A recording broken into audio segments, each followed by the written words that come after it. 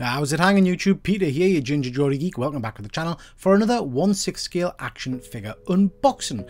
And this time we're looking at one of my favourite characters, good old Kurt the Nightcrawler off of X-Men. So, Nightcrawler first made his appearance in Giant Size X-Men number 1 with a whole host of other characters, but he's become a firm favourite.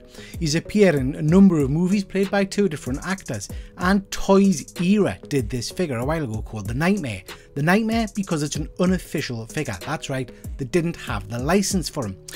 It's based on this character from the later X-Men movies, so let's get into him and have a look-see.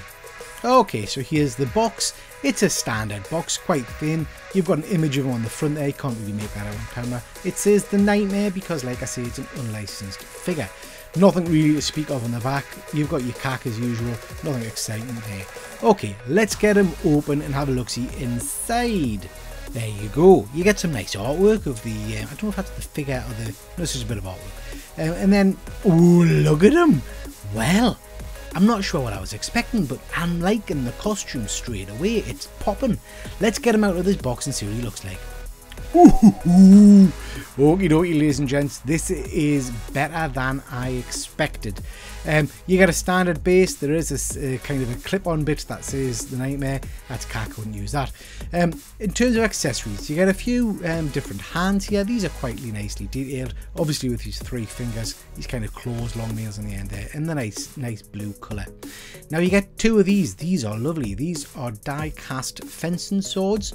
Those of you that know the X-Men will know that Kurt uses these in some of the comics. Um, these are really nice, I quite like them you get this. Now this is weird. You get a X-Men costume, um, so you can swap his outfit if you want, um, but you can't get it on him unless you tear the other costume. It's bonkers, so it's a lot of shit. Can't use it. Um, the figure himself. Now, let's just look at this costume. It absolutely pops. I'm loving the red. I'm loving the blues. It's a strange material. I do like the X on the belt there. That looks really cool. Um, the head sculpt, I think, is pretty good for a third-party figure. It's on point. I like it. Um, the costume itself fits well, but it does bunch. And yes, you can see it's got, like down here, some cracks already appearing because of the material of the costume at some points. I like this. This is a, uh, his tail obviously which is wired so you can bend it and shift it into all kinds of different ways and shapes. That is a good, good point. Overall, the figure looks bloody good. Um, I'm really quite impressed with this. I was expecting it to be a load of old rubbish, but no, I'm liking it.